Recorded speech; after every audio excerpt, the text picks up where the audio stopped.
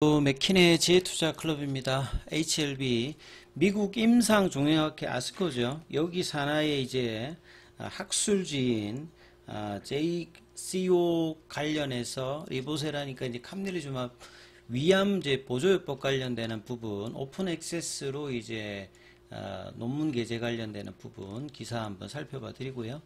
자, 주가는 이제 종가상으로는 69,700원에 마감했습니다. 이 부분 한번 살펴봐 드리도록 하겠습니다.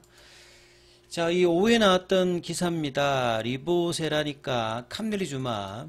자, 위암 관련되는 부분들도 이제 어, 이 간암 쪽에 이제 우선 하다 보니까 향후에 이제 뭐 간암 관련되는 부분이 FDA 승인되면 어, 위암도 이제 준비는 뭐 다 돼 있는 상태이기 때문에 이 부분들도 향후에 또 이제 기대감이 또 있는 어떤 부분이고요. 어, 간암에서도 이제 이 보조요법 관련되는 부분 이야기가 많이 나왔는데 위암 쪽에서도 보조 보조요법 그러니까 고용암 쪽에서 암의 어떤 이제 크기 자체가 어, 높아서 이 어, 커서 이제 이 국소요법인 이제 수술 절제 관련되는 부분이 어, 하기 어려울 때 이제 취하는 어떤 부분이 보조요법이죠. 그러니까 수술하기에 적당한 크기로 어, 종양 크기를 줄이는 어떤 형태로 이 보조요법의 어떤 수요도 계속 늘어나는데요. 그 관련해서 예, 국제학술지 미국 임상종양학회는 이제 이게 ASCO죠. 예. ASCO 쪽에 있는 이제 학술지가 Journal of 이제 Clinical Oncology입니다. 이 clinical이 이제 임상을 이야기하는 거고 요게 이제 항암 암 관련되는 부분이라고 보시면 되겠죠. 그래서 여기 이제 Journal of Clinical Oncology 같은 경우에도 이 글로벌 논문 이제 피인용 지수가 50이 이제 넘어가기 때문에 종양학 쪽에서는 어, 권위가 있는 이제 국제 학술지라고 보시면 됩니다.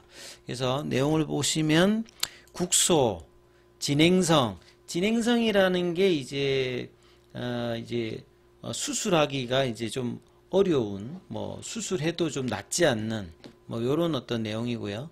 그 다음에 위암 관련해서 수술 전후에 수술 앞에 하면 이제 내후 이제 어주반트고 이제 수술 뒤에 하면 이제 어주반트 개념이겠죠. 수술 전에 하는 것은 보조법은 예, 수술하기 적당한 상태를 만드는 거고 수술 위에도 암세포가 완벽하게 이제 사라지는 것이 아니기 때문에 자녀 암에 대해서 이제 뭐 보통은 이제 그 세포독성 항암제 관련되는 부분을 주로 하는데요.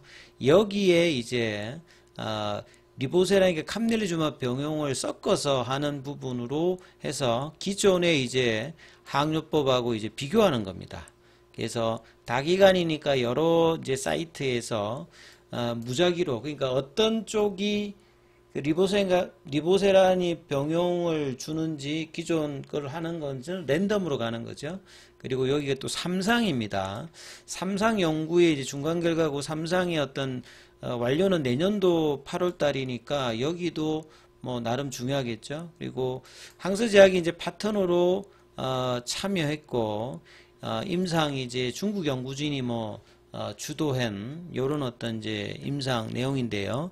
자, 이 뭐 내용을 보시면 옥살리 프리틴이다가 이제 S1, 테가푸르, 기메라실, 오테라실, 칼슘 용어도 다 이제 어려운데요. 좀 쉽게 뭐 설명을 해드리면 보통 이제 보조요법에는 세포독성 항암제 그러니까 표적 항암제하고 이제 면역 항암제 전에 이제 1세대에 있는 세포독성 항암제인데 거기에서도 어 대표적으로 이제 많이 쓰이는 게 이제 시스플라틴 관련되는 부분 많이 쓰거든요. 백금계 약제.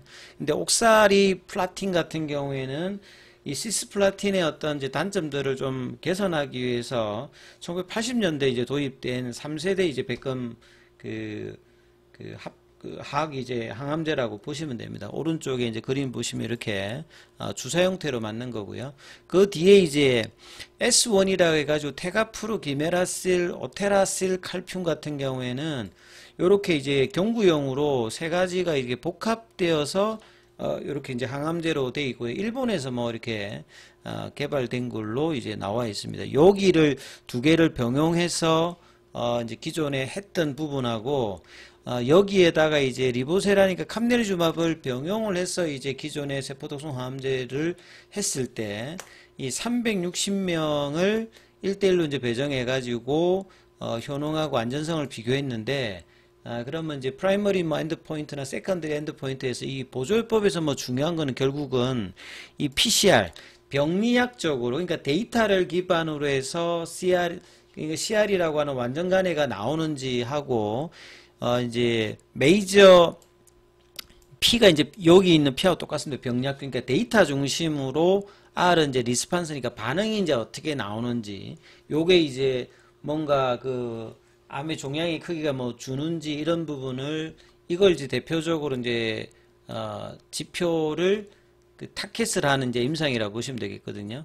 그러니까 그 결과를 해보니까 중간 결과인데요. 최종은 이제 좀 더 시간이 걸리겠습니다만, 그러니까 1차 이제 지표 같은 경우에는 뭐 PFS 값이라든지 OS 값은 요 데이터가 그 뭐 재발할 때까지라든지 사망할 때까지 이제 데이터가 나오니까 아, 이 부분들은 이제 임상을 완료해야 이제 나오는 어떤 이제 메인 데이터이고 중간에서 이제 중요한 것은 그 CR은 이제 완전 간해가 나, 중간에 나올 수 있는 거잖아요. 그 다음에 이제 반응률이라고 하는 말은 얼마만큼 이제 종양 크기가 어, 준다든지 이런 부분들 어, 요런 부분은 이제 할 수 있으니까 이제 중간 그 결과 같은 경우 보면 리보사린과 캄넬리주마 병용을 했을 때가 기존에 이제 세포 독성 항암제 이제 섞어서 했을 때보다 이 CR이라고 하는 완전 간해잖아요. 그러니까 병약적으로 데이터가 있는 완전 간해의 비율 자체가 어, 기존보다 3배 이상 잘 나왔고요. 그 다음에 이제 MPR이라고 하는 보통 이제 우리 그 리스판서 주요 이제 반응률 관련되는 부분들도 여기 이제 뭐 반응률이라고 하면 뭐 이제 CR 외에 이제 뭐 PR이라든지 뭐 어, 이런 뭐 SD 관련되는 부분에 어떤 데이터가 들어갈 건데요. 여기에도 보시게 되면 아, 기존보다 반응률도 좀 높습니다. 그러니까 어, 좋게 이제 효과가 나왔다는 거죠. 그리고 이제 이런 상황에서 이제 합병증이라든지 이 부작용 관련되는 부분들은 어, 더 조금 이제 작게 나왔다가 이제 부작용은 조금 더 뭐 경미하게 좀더 많게 나오기도 하고 그렇습니다. 그래서 이제 결과적으로 중요한 지표는 이 부분이기 때문에 항요법에다가 아, 병용을 좀 섞어서 해봤을 때는 어, 이제 병약적 완전간에 관련되는 부분은 유의미하게 3배 이상 어, 개선되었으니까 상당히 이제 긍정적인 부분들 이렇게 어, 이제 되었고 내약성이라고 하는 말은 이제 한 그 임상에 참가하신 분들이 리보세린과 캄델리주맙을 이제 견딜 수 있는 정도 약이라고 하는 게 몸 안에 효과뿐만 아니라 이런 이제 부작용이나 독성을 가지고 있기 때문에 이걸 이제 계속 이제 임상 진행 과정에서 견딜 수 있는 정도. 그러니까 이게 좋다는 말 자체는 두루두루 사용할 수 있다는 부분이고 부작용이 아, 덜하다 이렇게 보면 되겠죠. 이런 그러니까 상황을 보조요법을 해서 효과가 좋으니까 예, 수술할 수 있는 상태로 만드는 가능성이 높이기 때문에 단순히 전신 치료제 외에도 이런 보조요법 관련되는 부분들도 굉장히 어, 중요하다라고 이렇게 인식을 하시게 되면 어, 향후에 이제 이런 어떤 이제 위암 쪽의 어떤 보조요법에 대한 어떤 기대감, 간암도 이제 이런 보조요법 관련되는 이제 부분들이 허가 이후에 바로 뭐 진행할 예정 관련된 기사 나왔죠. 자, 그래서 이제 뭐 학회지에 관련되는 뭐 그 부분들도 이제 그 어, 이제 기사에 조금 이제 올라와 있는데요.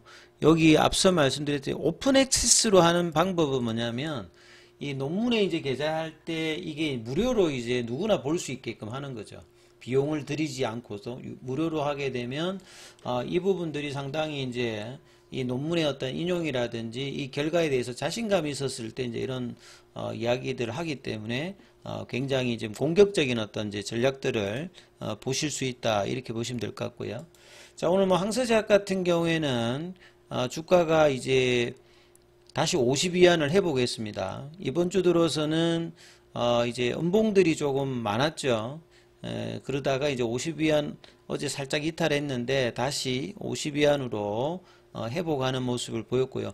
올봉을 보시게 되면 3개월 연속으로 이제 올라왔다가 이번 달에 이제 급하게 이제 중국 증시가 아, 반등을 보였다가 이제 다시 또 단기 조정을 보였다가 이제 반등 흐름을 예, 주 막판에 좀 이제 일단 보이는 모습이었고요. 공매도 쪽에서는 어, 오늘 이제 수량이 어제는 16주밖에 안 됐습니다. 오늘 다시 6,944주. 그 다음에 이제 어, 이번 주 수요일 기준으로 어, 수요일 기준으로 이제 공매도 순보유 잔고는 320만 주대가 계속 이제 300만 주대 초반 정도로 계속 유지하고 있다는 모습이죠. 자, 대차 거래 관련되는 어, 부분들은 이 체결이 상한보다 소폭 좀 많았던 어떤 모습입니다. 자, 그리고 차트 흐름을 좀 보시게 되면 이번 주가 이제 에, 이제 지난주에 이제 목요일 금요일 날 어, 갭다운 나오면서 클래스 2 이후에 이제 어, 이제 82,000원대 피보나치 눌림목 가격에서 피보나치 추세 가격인 7만원 초반으로 이제 밀리면서 여기에 이제 추세 라인이 있기 때문에 지지 흐름을 이제 일주일간 뭐 확인하는 어떤 구간이 되는데 종가상으로는 결국 뭐 7만 천 원대의 어떤 피보나치 추세 라인을 회복하지는 못했습니다만 그 부분에 일단 양음량 패턴을 만들고 어, 화요일 이후에는 수요일, 목요일, 금요일은 3일 동안에는 이제 거래를 어, 줄이면서 일단은 이제 피보나치 가격 부근에 이제 어, 플랫형으로 만드는 모습. 오늘은 좀 밑꼬리를 좀 만들었기 때문에 다음 주에 이제 이번 주에 못했던 7만 5천 원과 7만 8천 원 사이에 어떤 하락갭을 메꿀 수 있는 이러기 위해서 이제 거래량이 동반되어야 됩니다만 거래량은 아직 이번 주 이제 흐름에는 어, 큰 거래는 나오지 않았습니다. 어제보다 오늘 좀더 어, 좀 늘기는 늘었습니다. 95만 주니까 어제보다 한 20만 주 넘게 일단 들어왔습니다만 예, 일단 7만 원대까지는 회복을 못했고 시간에는 200원 정도 더 올랐어요. 69,900원대. 그래서 7만원 초반대는 계속 일단은 뭐 rough하게는 유지해주는 모습이고요.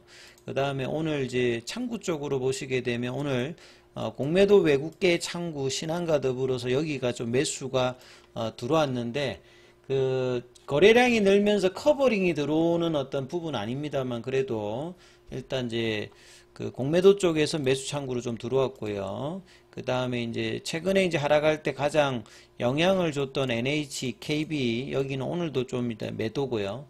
어, 삼성이 이제 이틀 연속 일단 매도로 바뀌어 있고 한국투자증권이 어, 제하고 다르게 오늘 또이 매도로 바뀌어 있습니다. 그래서 신규로 이제 공매도 쪽에서 일단 매수가 외국계 쪽을 중심으로 해서 일단은 들어오는 모습이었고요.